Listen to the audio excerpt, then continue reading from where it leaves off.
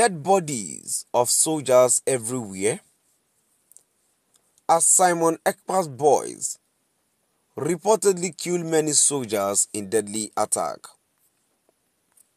Oro Dead bodies of soldiers everywhere as Simon Ekpa boys reportedly killed many soldiers in deadly attack. To my dear listeners, from wherever you're listening from, kindly stay tuned as I read today's news. Violence has erupted again in southeastern Nigeria as the Biafra Liberation Army claimed responsibility for the death of multiple Nigerian soldiers. This incident is the latest in a series of attacks by separatist groups advocating for independence.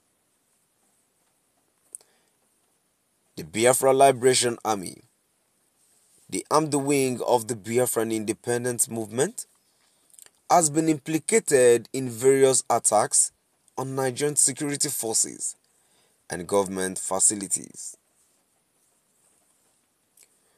A key figure in the movement announced the attack on social media, sparking online debate among pro Biafran supporters.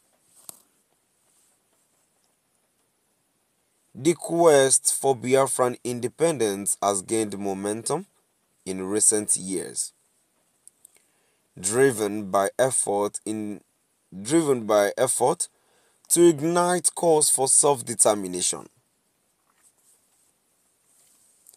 However, this resurgence has taken a violent turn, with advocates promoting armed resistance against the Nigerian state.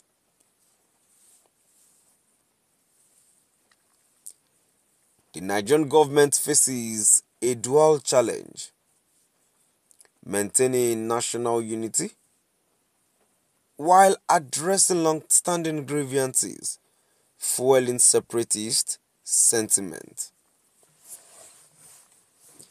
The ongoing violence highlights the urgent need for dialogue and peaceful resolution to address historical and social political issues dividing pro Biafran activists and the Nigerian state.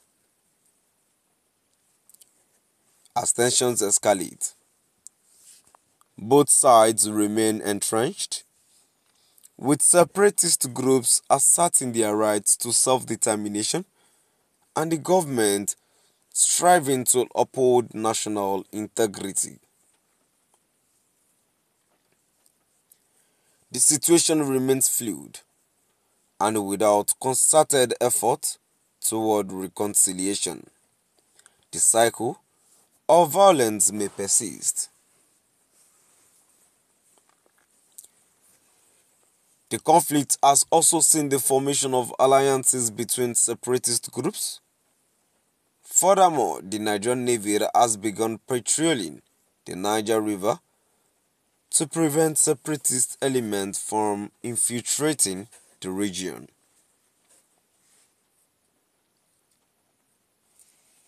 The international community has taken notice with concerns growing about the potential for further violence and the need for a peaceful resolution. In recent months,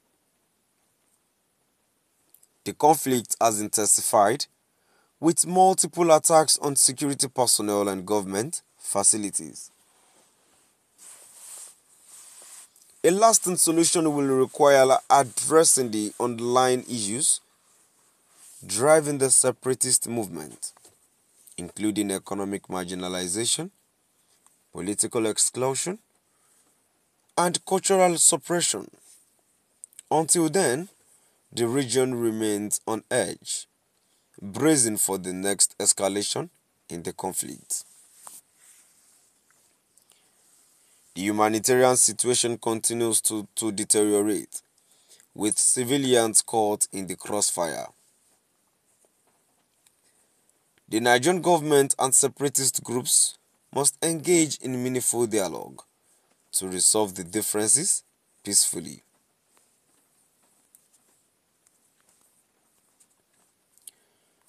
The situation in southeastern Nigeria remains complex and volatile with no clear resolution in sight.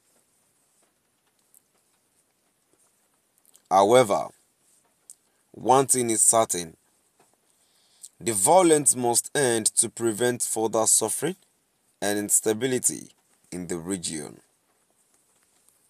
So, my dear listeners, now I've come to the end of our today's news, and now before I go, I must really say violence will not sort Biafra's issue.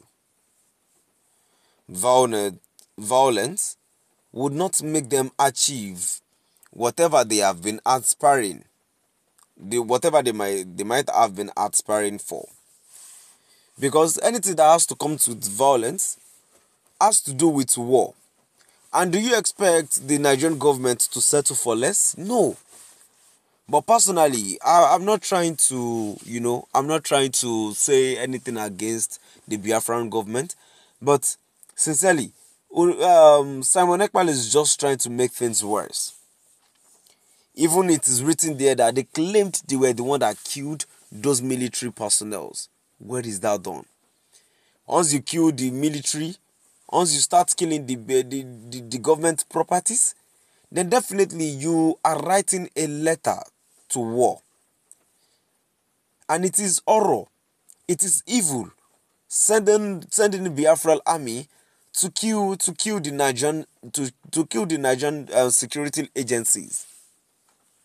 To me, it doesn't speak well of them, and it's all shades of all wrong. It, do, it doesn't make sense at all, to, to, to be honest. And I think there should be a better way for fighting for freedom instead of killing